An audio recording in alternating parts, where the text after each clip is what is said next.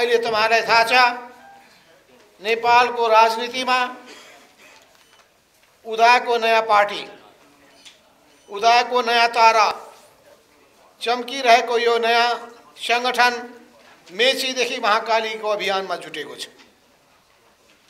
प्रदेश प्रदेश प्रदेशमा कार्यक्रमहरू लिएर जिल्ला जिल्लामा सङ्गठन विस्तार गर्दै पालिका पालिकामा सङ्गठन निर्माण गर्दै र गाउँ गाउँमा जनताको माझमा जाँदै यो सङ्गठन व्यापक रूपमा फैलिँदै गइरहेको छ। आज बिहान मात्रै रामेछाप जिल्लाका दर्जनौ साथीहरू, युवा पुस्ताका व्यक्तिहरू हाम्रो पार्टीमा प्रवेश गर्नुभएको छ। प्रवेशको यो लहर व्यापक रूपमा फैलिँदो छ। र यो पार्टीको विस्तार देखेर यो पार्टीको प्रभाव देखेर यो पार्टीको आकर्षण देखेर हाम्रा वैरीहरूको मन पोलिरहेको छ छटपटाइरहेका छन् उनीहरू उनीहरू दस थरीका आरोपहरू लगाइरहेका छन्। नाना भाँतीका भ्रमहरू पैदा कोसिस गरिरहेका छन्। डाहले उनीहरू त्यत्तिकै भुटभुटिँदैछन् अस्ति भर्खरै देख्नुभयो प्रतिनिधि सभामा संसदमा तमासा। उनीहरूले लगाएका नाराहरू सुन्नुभयो तपाईँहरूले। ती सबै नाराहरू अगाडि सारेका विषयहरू तपाईँ राम्ररी निहालेर हेर्नुहोस्। उनीहरू संविधान मिच्न पाइँदैन भन्छन्।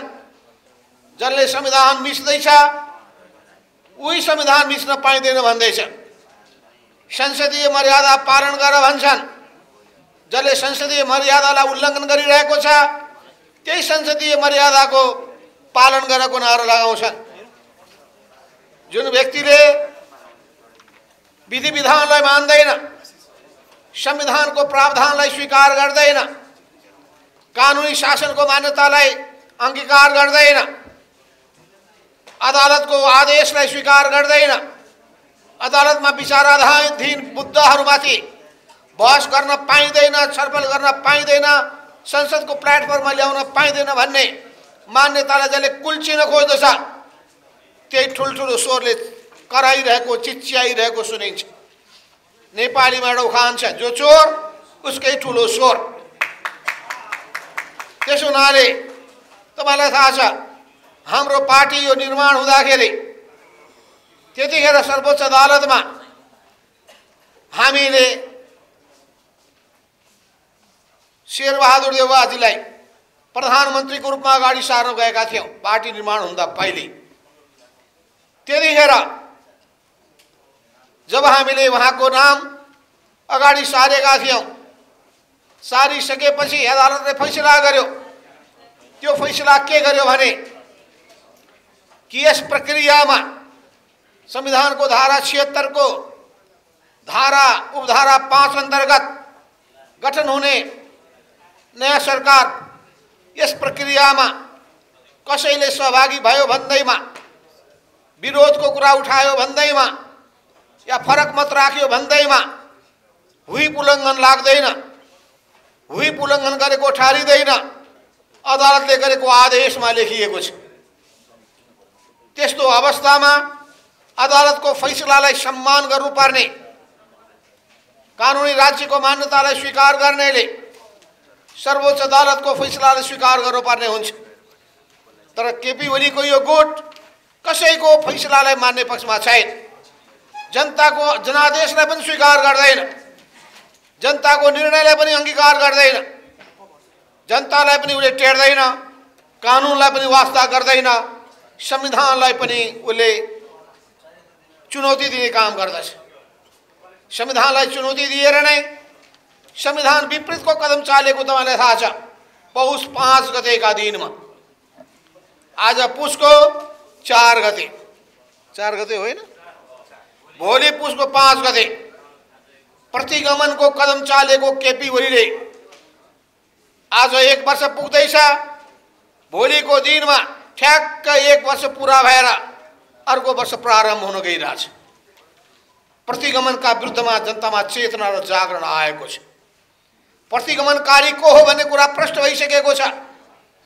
जसले संविधानलाई मिच्दछ प्रतिगमनकारी हो। जसले संविधानको प्रावधानको पालन गर्दैन, त्यो संविधान विरोधी हो।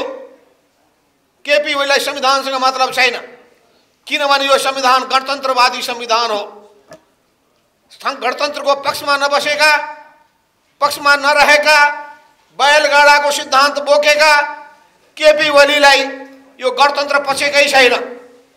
उनलाई सङ्घीयता पनि पछेको छैन, परिवर्तन पनि पछेको छैन।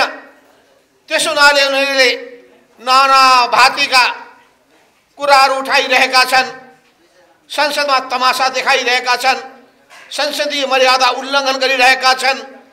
अरू सांसदको अधिकारलाई कुल्चिरहेका छन् अरू सांसदहरूले बोल्न पाउने र छलफल बहस गर्नुपर्ने जनताका समस्याहरूमा राष्ट्रका समस्याहरूमा व्यापक विचार मन्थन हुनुपर्ने त्यो ठाउँलाई उनीहरूले अवरोध खडा गरिरहेका छन् र राज्यको संपत्ति पनि र पीडा र वेदनालाई पनि जसरी व्यवस्था गर्ने कुल्चिने काम छन् सम्पत्तिको जसरी दुरुपयोग गर्ने काम गरिरहेका छन् र यसरी त्यो प्रभावकारी भूमिका खेल्न नदिएर त्यसलाई त्यतिकै निरर्थक कोसिस गरिरहेका छन् त सबैबाट केपी ओलीले नेतृत्व गरेको त्यो गुट। त्यो अब अग्रगामी गुट रहेन अग्रगामी गामी पार्टी रहेन त्यो प्रतिगमनको मतियार भएको छ पश्चगमनको पक्षपोषक नेपालको इतिहासलाई पछाडि फर्काउन खोजिरहेको छ भन्ने कुरा प्रष्ट हुँदै त्यसो हुनाले परिवर्तनका सम्भावक हामीहरू, परिवर्तनका अभियन्ता हामीहरू, हिजो राजनीतिक क्रान्तिका पनि अगुवा हामी थियौँ, राजनीतिक परिवर्तनका नेताहरू पनि हामी थियौँ, अब सामाजिक परिवर्तनको अभियन्ता हामी बन्नुपर्छ अब हामी सांस्कृतिक परिवर्तनको अभियन्ता हामी बन्नुपर्छ आर्थिक रूपान्तरणको अभियन्ता हामी बन्नुपर्छ त्यस हुनाले सामाजिक, आर्थिक र सांस्कृतिक यी सबै क्षेत्रमा हामीले थुप्रै परिवर्तन यो सबै परिवर्तन गर्नका लागि हामीले शिक्षा को व्यापक प्रचार प्रसार गर्नुपर्छ, शिक्षा हासिल गर्नका लागि, उच्च स्तरको शिक्षा हासिल गर्नका लागि युवा पुस्तालाई प्रेरित गर्नुपर्छ। शिक्षाले चेतना जगाउँछ, समाजमा जागरण पैदा गर्छ, मानिसमा खुबी र क्षमता उजागर गर्दछ। मान्छेका आफ्ना प्रतिभाहरू प्रस्फुटित हुन थाल्दछन् र देशको सुयोग्य नागरिकको रूपमा हाम्रो नयाँ पुस्ताहरू तयार हुन पुग्दछन्। त्यसो हुनाले यो शिक्षाको क्षेत्रमा तपाईँहरूले जसरी हात हाल्नु भएको छ र यस सन्दर्भमा नेपालभित्र नै शिक्षण संस्थाहरू खोलिरहनु भएको छ, राज्यले जिम्मेवारी नलिरहेको अवस्थामा जसरी सामाजिक रूपमा निजी रूपमा तपाईँहरू अग्रसर हुनुभएको छ कि राज्यले जिम्मा लिनुपर्छ कि त नेपाली नागरिकले अगाडि सर्नु पर्दछ राज्यले जिम्मा नलिने नेपाली नागरिक पनि अगाडि नसर्ने हो भने अनि नेपाली विद्यार्थीहरू विदेशमा जाने अवस्था बन्छ। र विदेशमा जाने स्थिति नबनाउनु राम्रो। जाने स्थिति बनाइरहेको छ भने पनि पढाइलाई सुनिश्चित गर्नु राम्रो। तर हाम्रो देशमा शीर्ष संस्था खोल्नका लागि नेपालीहरूलाई प्रोत्साहन दिनुभन्दा विदेशीहरूलाई निम्त्याएर नेपालीको अधिकारलाई हरण गर्ने अनि राष्ट्रिय पुँजीलाई प्रबन्धनको गफ हाँक्ने, तर राष्ट्रिय उद्यमीहरूलाई, राष्ट्रिय क्षेत्रमा भूमिका निर्वाह गर्नेहरूलाई हतोत्साहित गर्ने यो सबै कामहरू अत्यन्तै निन्दनीय रहेका छन्। र यस्तो निन्दनीय काम पनि अगाडि बढाउने व्यक्ति पनि प्रधानमन्त्रीको रूपमा केपी ओली नै हुन् त्यसो उनको यो काम, कम्युनिस्ट आदर्शसँग मेल खाँदैन कम्युनिस्ट मूल्य र मान्यतासँग मेल खाँदैन त्यस हुनाले हामीले भनिरहेका अब केपी ओली र उनको कंपनी कम्युनिस्ट रहेन। उनीहरू कम्युनिस्टमा हुनुपर्ने गुणहरू छैन। उनीहरूमा लोकतन्त्रवादीमा हुनुपर्ने विशेषता पनि छैन। त्यस्तो संस्कार पनि उनीहरूमा छैन। त्यस एउटा जिम्मेवार नागरिकको हिस्सा हिसाबले आफ्नो भूमिका खेल्नु पर्दछ र अहिलेको सरकारले पनि विकास जसरी हुन सक्दछ उत्थान जसरी हुन सक्दछ, चाहे त्यो पढाइको क्षेत्रमा होस्, चाहे सिप विकासको क्षेत्रमा होस्, उद्यमशीलताको क्षेत्रमा होस्, पुँजी विकासको सन्दर्भमा होस्, या नयाँ नयाँ विज्ञान और प्रविधि को र प्रविधिको विकास गर्ने कुराको सन्दर्भमा होस्, यी सबै सन्दर्भमा नेपालीहरूले पहल कुरालाई साथ दिनुपर्दछ प्रोत्साहित त्यसो हुनाले तपाईँहरू एकताबद्ध भएर एउटा संस्थालाई अगाडि छ। र हाम्रो पार्टीसँग जोडिएको, नेपाल कम्युनिस्ट पार्टी एक समाजवादीसँग जोडिएको यो संस्था त्यही आदर्शबाट, देशभक्तिको आदर्शबाट अभिप्रेरित छ। लोकतन्त्रका मूल्य र मान्यताबाट निर्देशित छ। परिवर्तनको दिशातर्फ अघि बढ्ने प्रतिबद्धताका साथ अगाडि बढिरहेको छ। त्यसो हुनाले हामी चाहन्छौँ, तपाईँहरूको बिचमा व्यापक छलफल होस्।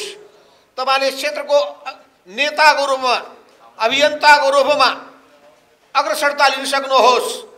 देशको निम्ति के फाइदाजनक छ र के छैन?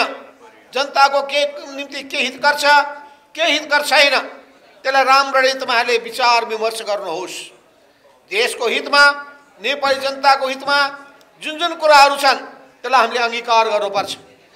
परिवर्तनको पक्षमा जुन जुन कुराले भूमिका खेल्न सक्दछ त्यसलाई अगाडि सार्नु पर्दछ त्यस हामीले, नयाँ पुस्ताका व्यक्तिहरू तयार गर्दाखेरि आवश्यक पर्ने न्यूनतम गुणहरू के के विशेषता के के योग्यता के के ती सबै चिजहरूलाई ध्यानमा राखेर हामीले शिक्षा प्रदान गर्नुपर्दछ यो शिक्षाले नै भोलिको आवश्यकतालाई सुयोग्य नागरिक दक्ष नागरिक तयार गर्ने आवश्यकतालाई पुरा गर्न सक्दछ त्यसो हुनाले हामी योग्य नागरिक तयार गर्न चाहन्छौँ हामी दक्ष नागरिक तयार गर्न चाहन्छौँ हामी मेहनती नागरिक तयार गर्न चाहन्छौँ हामी उद्यमशीलता नागरिक तयार गर्न चाहन्छौँ हामी प्रतिभाशाली, प्रतिभा त्यस्ता व्यक्तिहरू तयार गर्न चाहन्छौँ यस अर्थमा पनि हामी सबै क्षेत्रमा गहिरो अध्ययन गर्न चाहन्छौँ अध्ययन, अनुसंधान र खोज यो अध्ययन अनुसन्धान र खोज गरेर हामी नयाँ नयाँ चिजको आविष्कार गर्न नयाँ नयाँ चिजको आविष्कार गर्नका लागि हामी सक्षम छौँ भन्ने हामी देखाउन चाहन्छौँ। यस अर्थमा हामीले नेपाली समाजका आवश्यकताहरू के हुन्? नेपाली अर्थतन्त्रका प्राथमिकताहरू के हुन्? हाम्रो राजनीति सञ्चालनमा रहेका कमी कमजोरीहरू के ती सबैलाई सही दिशा दिशामा लिएर जानका लागि। कस्तो किसिमको नीतिको आवश्यकता छ। कस्तो किसिमको विचारको आवश्यकता छ। कस्तो किसिमको अवधारणाको आवश्यकता ती सबै कुराहरूमा व्यापक विहङ्गम हामी बहस र छलफल गर्न चाहन्छौँ यस अर्थमा तपाईँहरू बौद्धिक क्षेत्रका साथीहरू, शैक्षिक क्षेत्र क्षेत्रका तपाईँहरू साथीहरू तपाईँले जुन ढङ्गले हाम्रा युवाहरूलाई बाटो गर्नुभएको छ। जसरी तपाईँहरूले उनीहरूलाई गाइड छ परामर्श दिने गर्नुभएको छ के गर्दाखेरि राम्रो हुन्छ नेपालको सन्दर्भमा कस्तो किसिमको विषयवस्तुहरूमा हामीले ध्यान दिनुपर्दछ रोजगारीका राम्रा सम्भावना कुन कुन क्षेत्रहरूमा छन्? ती सबै त्यसको निम्ति को को कुन कुन ठाउँहरू? देशभित्र देश बाहिर स हाम्रो देशको निम्ति उपयोगी त्यस्ता सङ्घ संस्था को सक्दछन्? यी सबै विषयमा तपाईँहरूले जसरी आफ्नो क्षेत्रबाट भूमिका निर्वाह त्यो अत्यन्तै प्रशंसा लायक रहेको छ। यस अर्थमा हामीले राम्रो कुराप्रति गौरव बोध गर्नुपर्छ। हामीले जुन बाटो लिएका छौँ, त्यो सत्यको बाटो हो त्यो न्यायको बाटो हो र न्यायको र सत्यको जहिले पनि जित हुनाले हामीले उच्च मनोबलका साथ अगाडि बढ्नुपर्ने आवश्यकता छ। को मान्छे आए, को मान्छे आएनन् महत्त्वपूर्ण कुरा होइन। अहिले हामी देखिरहेका छौँ, केपी ओलीको गुटमा लागेका मान्छेहरू पस्ताइरहेका छन्। उनीहरू त्यहाँ गुनासो पोखिरहेका छन् रुनु न हाँस्नुको अवस्थामा पुगेका छन्, कस्तो ठाउँमा आएर फसिएछ भनेर ठानिरहेका छन्।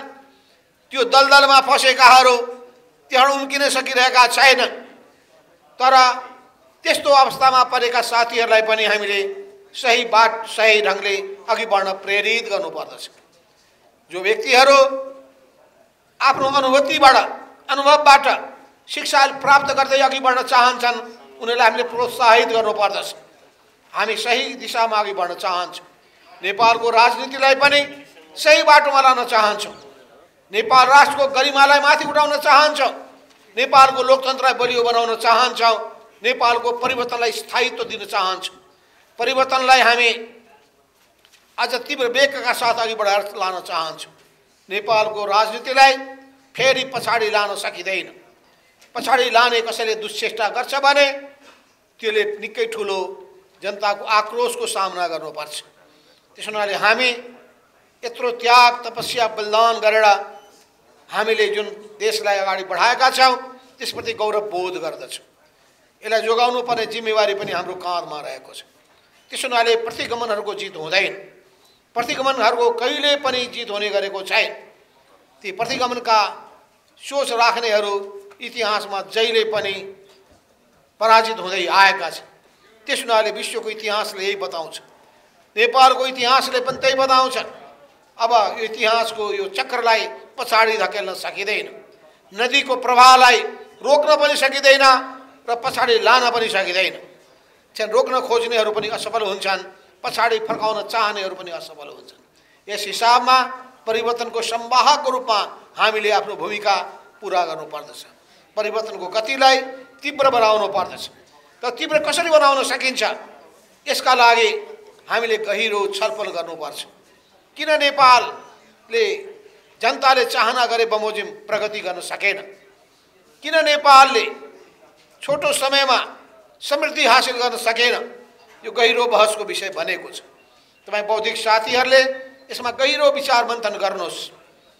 अनुभव प्राप्त व्यक्तिहरू, अध्ययन गरेका व्यक्तिहरू, विज्ञता हासिल गरेका व्यक्तिहरूलाई धेरै कुरा लागेको हुनसक्दछ यसो गरेको भए राम्रो हुन्थ्यो होला भन्ने लागेको हुनसक्दछ तर नेपालमा रहेको समस्यामध्ये सबभन्दा मूल समस्या भनेको भ्रष्टाचारको समस्या यो भ्रष्टाचारको समस्याले पुरै समाजलाई पुरै राजनीतिलाई गाँजेको छ त्यसैले भ्रष्टाचारी प्रवृत्तिलाई जबसम्म अन्त्य हामी गर्दैनौँ जबसम्म यो दलाल पुँजीको फन्दाबाट पन्जाबाट र फन्दाबाट यो देशलाई मुक्त गर्दैनौँ तबसम्म देशले अपेक्षित विकास गर्न सक्दैन त्यसो हुनाले यो भ्रष्टाचारलाई कसरी अन्त्य गर्ने सिङ्गापुरबाट हामीले के सिक्ने हामीले स्केन्डिनेभियन कन्ट्रीहरूबाट के सिक्ने नर्वेबाट के सिक्ने स्विडेनबाट के सिक्ने असल असल उदाहरणहरूबाट हामीले सिकेर हाम्रो देशमा लागू गर्नु पर्दछ.